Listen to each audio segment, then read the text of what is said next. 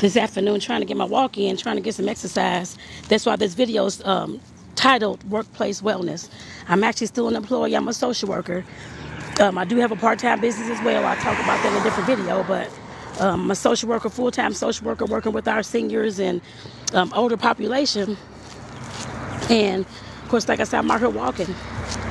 Took half my lunch break to come out here and walk and try to get my exercise in. Like I said, I just want to encourage those people who are out there working like I am as well, not just social workers, but teachers, um, therapists, counselors, doctors, whoever you are. We all help somebody no matter what kind of job we do. Tax accountant, you help people too.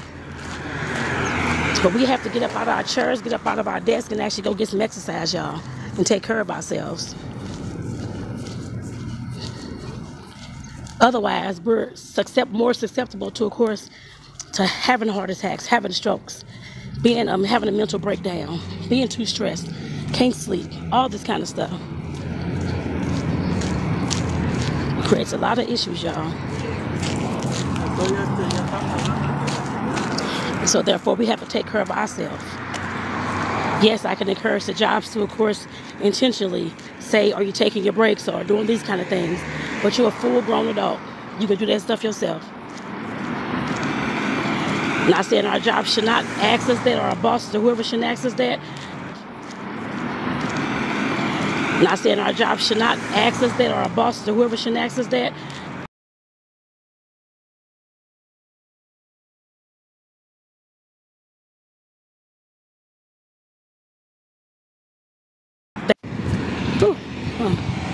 They should, but we know full and well that we should be taking our own breaks as well. We know what our health is like. We know that we sit here and eat during lunch, stay at our desk, try, still trying to work. We know that about ourselves already. And so it's up to us to do something about it, not them. You're the one that has to suffer the consequences when you have a stroke or have a heart attack at your desk or something else is going on. You're the one that got to suffer those consequences. The only consequence the job gonna have is somebody else to, I guess, to, to find somebody else to replace you.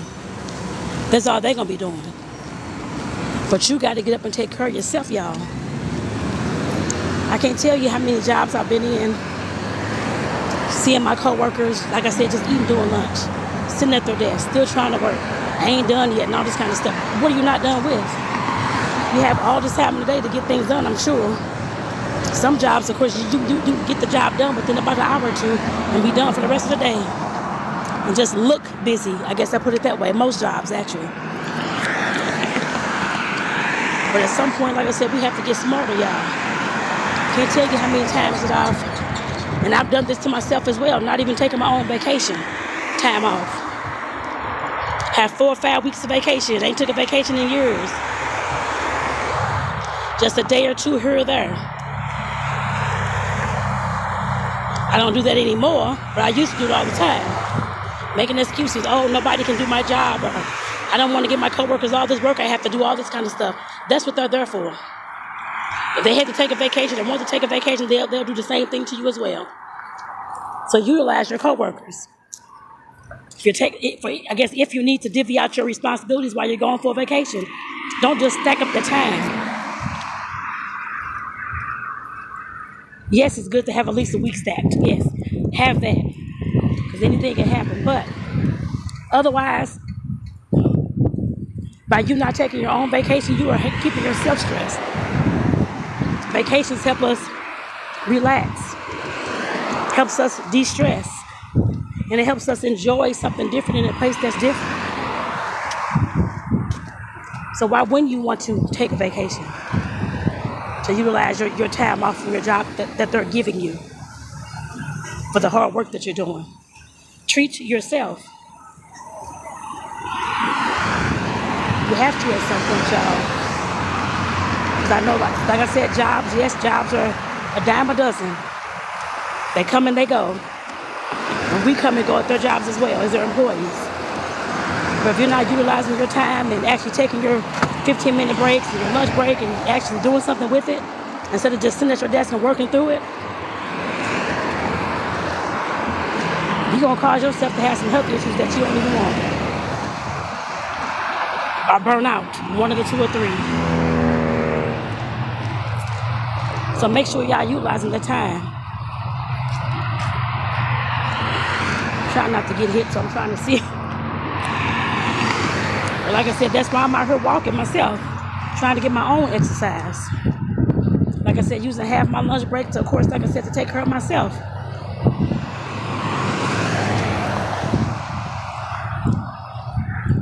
Is this lady doing?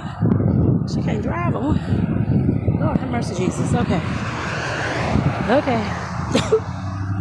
people, people, people. All right now.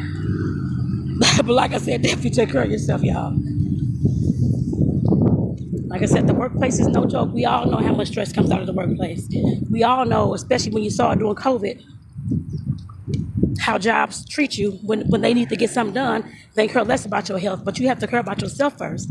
We saw a whole lot of folks leaving during the great resignation. Some returned and that kind of thing, or some working from home, or got their own side hustle like I do. That's all fine and dandy, but you still got to take care of yourself. I don't care if you own your own business. Still get up out your desk, go do something different. Take a lunch break. It's all one and the same. I don't care if it's your business or workplace. Up and take your break. There's no reason why you can't. Who's going to take care of you and your family if you should stroke out tomorrow? Or if you have a heart attack tomorrow? Or if you have a mental breakdown because you're too stressed tomorrow? Who's going to help you help you take care of your family? Your, your job isn't. Yes, while you may have a paycheck that's coming in the next week or two, that may help. But after that, then what? You have to figure out what you're going to do. You have to take care of yourself. I talk about the savings and all that kind of stuff in different video, but we have to take care of ourselves, y'all. Especially, you're looking at me, I'm, I'm, a, I'm a woman of color, I'm, I'm a black woman. Diabetes, high blood pressure, high cholesterol, obesity, heart disease, all that stuff runs runs in our not just black people, but a, a lot of races, of course, across, I'm sure probably all of them across this earth bloodline. And if you're just eating crazy, eating chips on your break and doing all this stuff, and oh, I'm not going to take my lunch today, I'm just going to snack, snack, and snack. At some point, you're going to create some health issues for yourself that, that you don't even need. That's why it's important for us to take care of ourselves, y'all. Not just me out here walking and that kind of thing, doing all the exercise. That's fine and dandy too. But you still have to eat right as well, or eat as best as you can. Even if it's raw fruit, vegetables, salad every day, something. Or as your snacks instead of chips. Do that then. Like I said, we can't just keep doing all these things and expect our health and our, our world to be okay, y'all. At some point, it will catch up with us. Like I said, there's no reason why you, we, me, you, whoever else is listening to this, cannot get up and take our breaks, cannot start eating healthier. In the workplace, I can't tell you how many times, like I said, I've, I've been in a workplace where I've had employees pass away. I've been in the workplace where I've had employees, my coworkers, burning out, mental breakdown I've had coworkers who've had aneurysms, probably not at their desk, but of course over the weekend before they came back to work because of all the stress and everything else that they're going through. It ain't just the work stress that you need to get up and do these things, I guess take these breaks for. It's not just the work stress. We all have stress at home too. We all have families. We all have, not all, a lot of us have kids, partners, husbands, wives, other family, other friends we're taking care of, probably older parents that we're taking care of as well these breaks are for us to, of course, like I said, to regroup so that we can take care of ourselves and then our loved ones and our families and all those types of things and our job and all that kind of stuff afterwards. But it comes with ourself. It starts with ourself first, y'all. It always starts with ourselves. If you're not whole, what is that? Lord, it's a black cat back. I'm sorry, y'all. It's a black cat back here walking across the top of this. Let me see if I get to, get a video. Lord have mercy. I think that's all just jumped down. Oh well. It was a cat walking across something like the top of this little brick building thing. Lord, that's the first time I ever seen that. But like I said, definitely you have to take care of yourself in order, in order to take care of anybody else. Yourself always comes first, y'all. Yourself always comes first. You have to be healthy and whole in order to create a healthy and whole life, like um, household for, for other folks, your family, your kids, all those types of things. But you, like I said, it all starts with you. I know it all starts with me as well. That's why I'm out here walking every every lunch break. I eat 30 minutes of my, well, the first 30 minutes of my lunch, the last 30 minutes I'm out here taking a walk.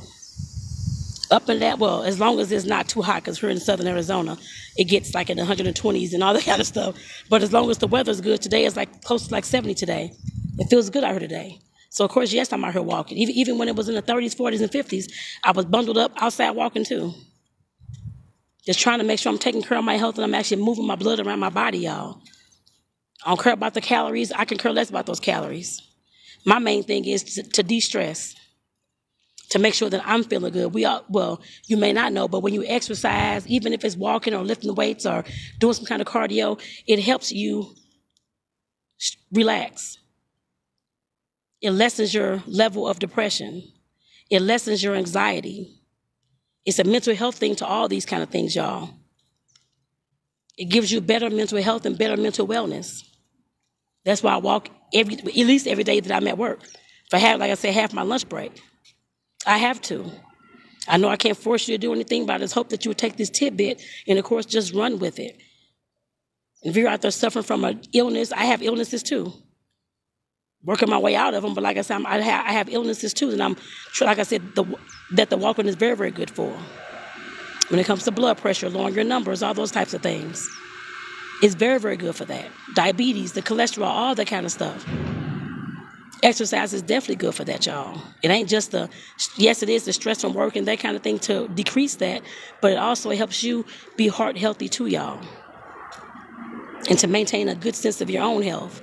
So, like I said, get out there and move, y'all. Especially, like I said, if you're work, you, if you're working, you're just sitting at the office, don't want to take your breaks, don't want to leave the office, and want to work doing all your breaks and all this kind of stuff. Get out there and move, y'all.